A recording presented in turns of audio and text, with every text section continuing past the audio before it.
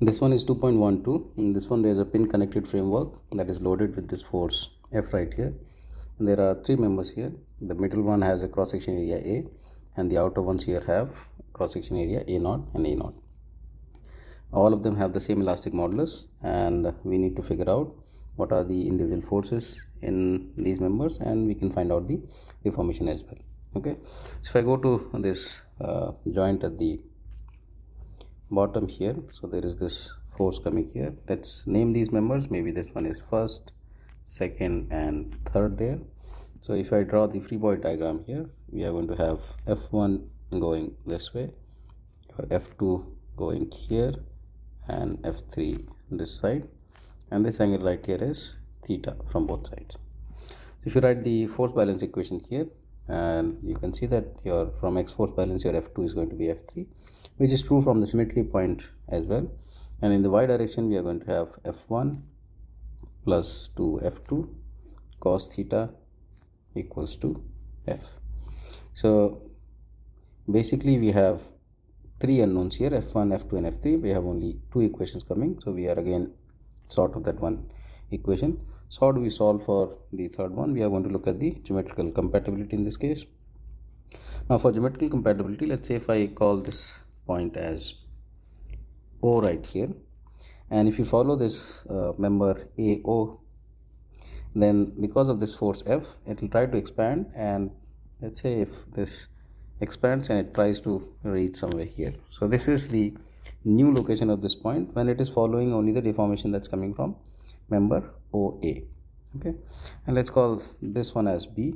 So if I focus on this member BO right here now this will also expand because of this force.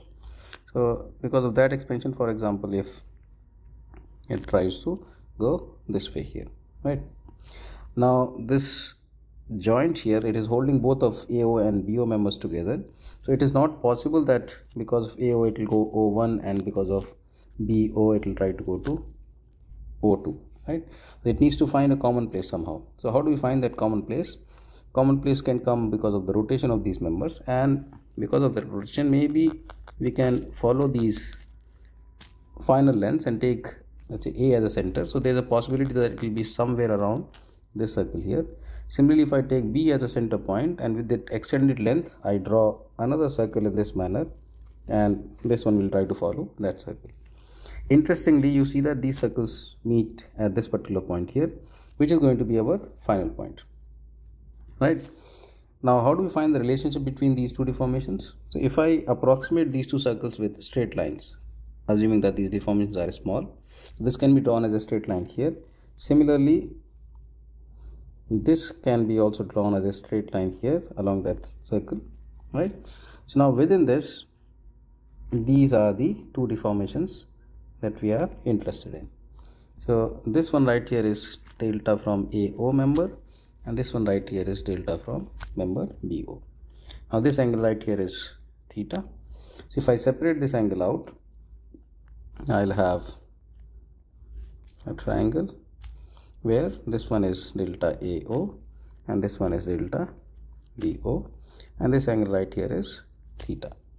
From this you can see that your delta BO is delta AO cos theta. Now due to symmetry in the problem I could have done this process for the third member also if I mark this as C a similar relationship will be there delta CO equals to delta AO cos theta. So now once we have this relationship uh, we can apply Hooke's law for member BO. Member BO will have a force that is this F2 right here. So F2 times length of member BO divided by elastic modulus E and the cross section area for BO is given as A naught.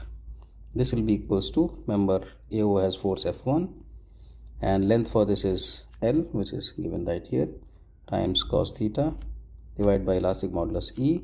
And the cross section area for this is A. So this e and e will cancel out. Now this lbo which is this right here based on this triangle this triangle can be written as l divided by cos theta. So now if i substitute this you can see that your f2 is equals to f1 times a naught divided by a and there will be two cos thetas combining. So there is a cos squared theta there. So now I can take this value of F2 and substitute in this equation which was your force balance equation right here.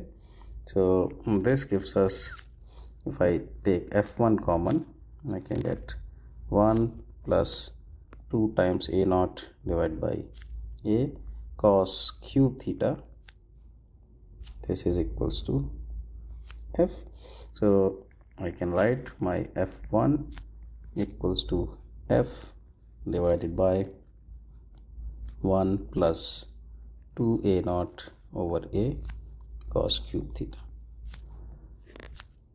Similarly, if I use this one right here, which is giving us the value of f2, your f2 can be written as a naught by a cos squared theta that goes on top divided by same denominator which is 1 plus 2 a naught over a cos cube theta times F. So these are the member forces and F2 and F3 is same. So we have all the member forces. Now once we have forces, if we are interested in finding out delta, we can do delta by, uh, for example, if the vertical force we are interested in, that is your F1 times L divided by E times A. So F1 value is right here, we can substitute and get the value of delta there.